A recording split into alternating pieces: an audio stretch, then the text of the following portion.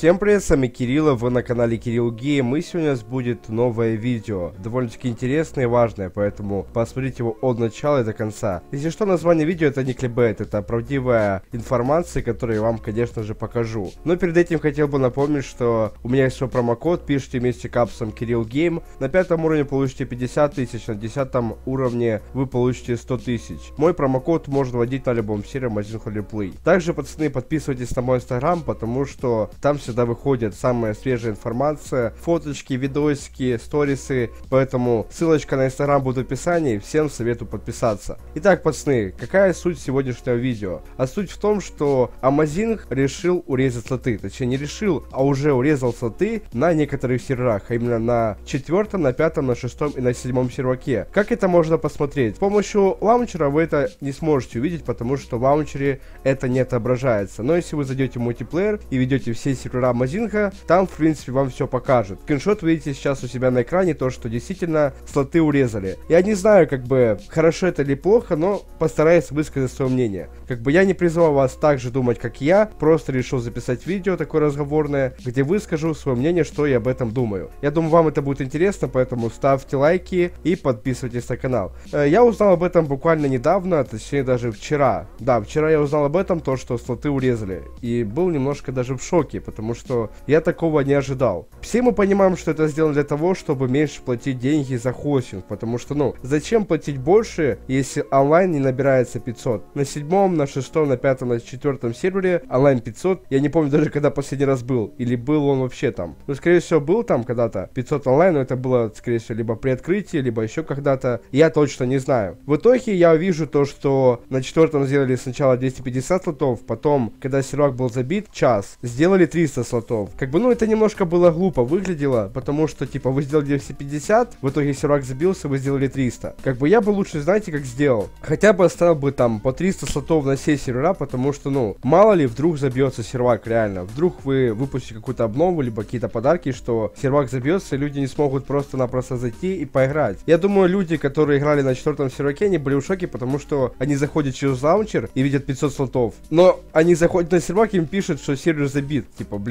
что будут пацаны вообще дальше? Что они будут дальше делать? Скорее всего, когда выйдет глобальное обновление, слоты нужно будет обратно повышать. Но, видимо, они просто решили затянуть пояса заранее, типа, чтобы сэкономить на этом и заказать, возможно, какую-то рекламу, либо заплатить там за работу разработчику, либо мододелу, там, модпакеру и так далее. Возможно, в этом вся суть, я не знаю. Но в любом случае это сделали для того, чтобы меньше платить денег. Потому что зачем платить больше, когда в этом нужды нету, как бы. Я думаю, все это прекрасно понимаете. Да, я уверен то, что на седьмом, на шестом, на пятом онлайн не будет 500. Но насчет четвертого я бы еще подумал, потому что на четвертом онлайн еще более-менее нормальный. Он-то бывает по 300, по 350. И я считаю, что на четвертом можно было слоты вообще не трогать. Нужно было просто на шестом слоты порезать, на седьмом и на пятом. Лично я думаю, если они порезали слоты, значит они на эти сервера не будут заказывать пиар типа крупных ютуберов. Но видимо только заказывать рекламу будут на второй, там на третий, на четвертый сервак, а пятый, шестой, седьмой будут курить в сторонке. Скорее всего так оно и будет, потому что ютуберов на седьмом серваке я честно вообще не встречал именно, которые там как-то снимают, либо еще что-то делают, там стримят. Крупных именно ютуберов я не встречал там на седьмом серваке точно. Насчет шестого, пятого не знаю, на четвертом точно есть ютуберы. Там Разор есть снимает, еще кто-то снимает, в принципе. На втором тоже есть ютуберы, на третьем есть ютуберы, на первом тоже есть ютуберы. Хотя на первом ютуберы по сути даже не нужны, потому что на первом онлайн довольно-таки хороший. Мне кажется, самое страшное будет это то, что если закроют там 7, 6, 5 сервак, это будет реально очень плохо для тех, кто играет именно на, на этих серверах. Конечно, допустим, там вы играете на первом, на втором, на третьем, на четвертом, типа, ну, вам абсолютно пофиг. Но, пацаны, вот нужно ставить себя на место других людей. Как бы вот представьте, если бы вы играли на седьмом серваке и закрыли бы просто сервак, и вам принесли аккаунт бы там на третий, либо на четвертый сервак. Вам было бы приятно? Я думаю, не очень.